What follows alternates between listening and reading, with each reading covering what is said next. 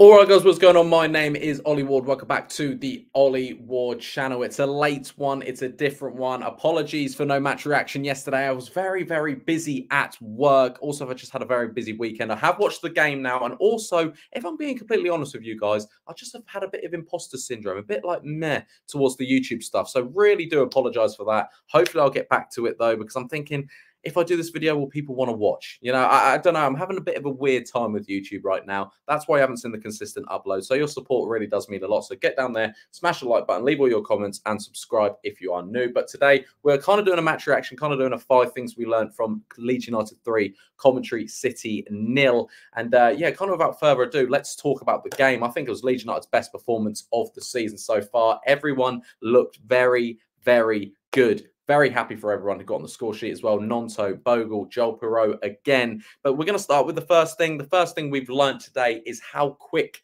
Leeds United play. When Leeds United play slow build-up football, it's a bit boring. It's understandable sometimes when you're at the Hawthorns, you want to go out for a nil-nil point or you're playing for a draw away from home. But when Leeds United play at home and they play quick football, quick passing, brilliant football, quick build up with Aaronson, Ramazani, Gnonto. Leeds United are absolutely unstoppable. And that's what they've done over the weekend against Coventry. It was absolutely brilliant. When Leeds play slow against a low block, you're never going to win. When Leeds United play quick, it looked very, very good. Also, just a quick ADHD, cut myself off. My microphone's still not working do not I don't know what's going on with that. Hopefully, I'll get it fixed in the week if I do upload something else. Uh, but secondly, we are going to talk about the pressing from Leeds United yesterday. I don't know if Bielsa was in the changing room, but it did feel like an old Bielsa style type of game. Pressing two, three man on a ball. Absolutely loved that from Leeds United. There was a scenario, I can't remember where it was. One of their players was hitting on the counter attack, and three Leeds United players just caved around him and got the ball back. The pressing, the fast build up, the quick passing, the counter attacks Leeds United looked back to their best yesterday and looked very, very good. And that's exactly what this team can do. Number three, we're talking substitutes. And I thought the substitutes played a massive part in yesterday's game. You know, we're talking Tanaka when he came on for Ampadu. Ampadu had a very decent game until, unfortunately, he came off. It does look all right. He looks like he won't be out for too long. Uh, and Tanaka came on, just showing what the Japanese international can do. And also when Joel Piroe came on, he scored again. You know, that man scores goals. That man is the best striker we have at the club. But I understand he's not necessarily a 90 minute player for us.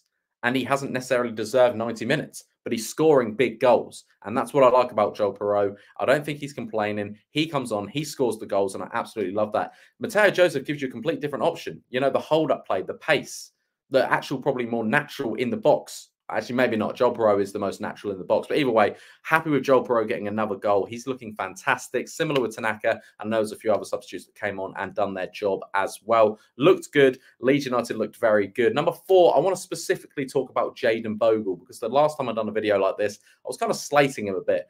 Thought the jury was still out. I thought he had an absolutely brilliant game yesterday against uh, Coventry. I thought it was fantastic. And he got himself on the score sheet as well. We saw glimpses of what the hype was at Sheffield United. And he looks like he's making that right back spot his own. And uh, it was just a very, very solid performance from Leeds United yesterday. Professional one from a team that, you know, last year really gave Leeds United the business, really struggled against Coventry last year. And look at that. We absolutely, I know they haven't started off the season brilliantly, but they've still got a very, very good side with a very good manager as well. But it's looking a rough time for Coventry, but Leeds United literally put them on the sword on the end of it. And we look very good. I was very, very happy with that Leeds United not even just result, performance as well. Keeping another clean sheet, that's five in seven games for Leeds United. We're already looking statistically a lot better than we did last year, which I know some performances you might not think so. But uh, that's kind of my number five that I want to go the five things we learned believe believe in what's going on at Leeds United. You know, I've had a few sort of uh, jabs at Farke, I've had a few jabs at the performances, but at the end of the day, we need to be professional in this approach. How Leeds United are going to do it this season, we need to be professional, and I thought Leeds United were just that, and they will continue to do that. Professional, and also, I'm not a massive fan of people saying where are the Farke out people now because you can't just win a game and suddenly there's no criticism. You're allowed to have praise when you win and criticism when you lose. It's just football, and that's understandable. So I'm not on that for jumping to one side of the argument when results go your way because you are going to lose games, you are going to win games. But we need to keep a level head. This is a big, big month for Leeds United. You know, we've got Norwich, we've got Sunderland, we've got Sheffield United, we've got big, big games coming up.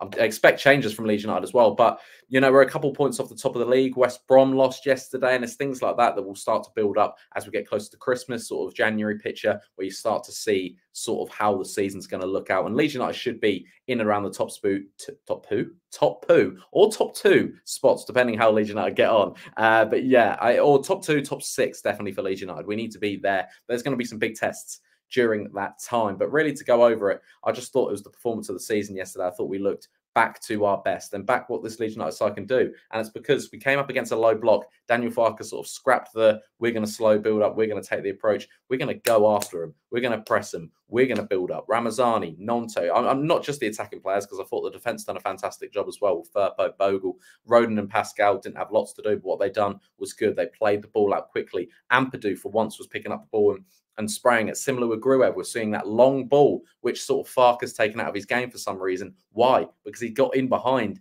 You know, Bogle was getting in behind, Ramazani was getting in behind. And look, we've still got Solomon to come back. We've got Dan James to come back, Bamford when he's back fit as well. You know, there's going to be a lot of options there. And this side is definitely capable of putting in that performance in week in, week out. Obviously, over the Christmas period, over sort of now you're starting to get your midweek games and they start to toll up on you on injuries and fitness and things like that. But this Leeds United side has got quality all over the pitch. And it was just a very, very good sort of game to watch yesterday. It was actually genuinely a joy to watch. Not that I was watching it because I was working, if you're listening, manager. Yeah, my manager, not Daniel. Um, but yeah, very, very good. Very, very happy with Leeds United. The man of the match for me I mean, I really like Tanaka's performance. I thought Gnonto just showing his class, really showing his class. I'm kind of glad he's put his head down and said, "Yeah, I'm going to be the star boy of this team." And he, you know, I'm happy he's with the goal. And that goal for the first goal was beautiful play. The the nice ball out and then the square ball, the finish from Gnonto.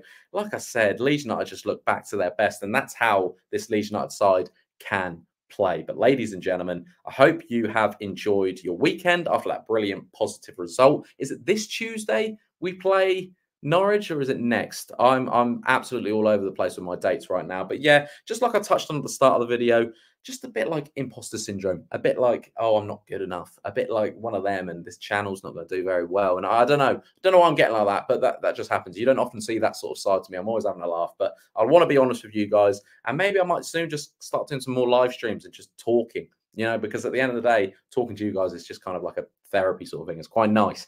Uh, but yeah, that's kind of where I'm at. You know, views take a big toll as well. Of course, they do. And as soon as that transfer window ends, by the way, where you're buzzing, you're uploading most days and stuff, it does take a sudden drop. I need to bring that back up, new concepts of videos and putting stuff out for you because at the end of the day, there's no point me just sitting here whinging the whole time. But yeah, without further ado, ladies and gentlemen, Hope you enjoyed your weekend. Be sure to smash that like button, subscribe if you're new, and get all your comments in. I've been Ollie Ward.